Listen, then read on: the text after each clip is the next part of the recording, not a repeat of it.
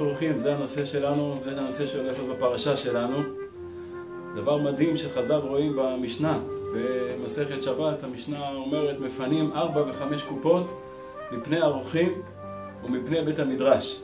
התחושות של חז"ל בדקויות שלהם זה לראות שחז"ל הקדימו את האורחים לבית המדרש. אומרים חז"ל מכאן שגדולה הכנסת אורחים עד כדי כמו, כמו בית המדרש, או אפילו יותר מבית המדרש, ויש דעה יותר קיצונית מזה, שגדולה הכנסת אורחים יותר מהגבלת פני השכינה.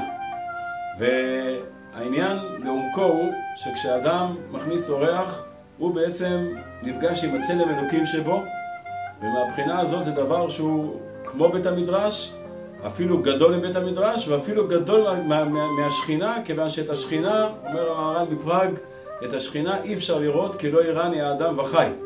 אבל דרך מפגש עם אדם אחר, אנחנו בעצם רואים את השכינה עין בעין, ולכן גדולה הכנסת אורחים, בעיקר שזה אורח, פנים חדשות, דווקא אדם שאנחנו פחות מכירים אותו, חדש מבחינתנו, אולי אפילו רחוק כרגע מבחינתנו, אנחנו רואים המפגש איתו הוא מפגש עם צלם אלוקים.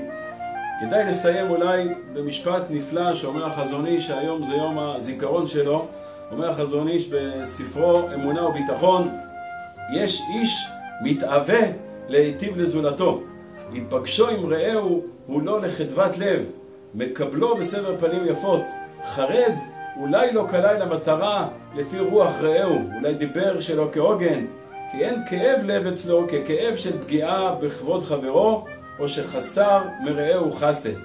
כלומר, אומר, אומר החזון איש, אדם שבאמת מרגיש את הצלם אלוקים שבכל אדם, ממש מתאווה להיפגש עם אנשים, יש לו ממש חדוות לב מכל מפגש עם כל אדם, ולא רק מעצם הפגישה, אלא גם מהרצון להיטיב ולהועיל ולעזור אה, לכל אדם. שבת שלום ומבורך, שנזכה בעזרת השם ללכת במידותיו של אברהם אבינו.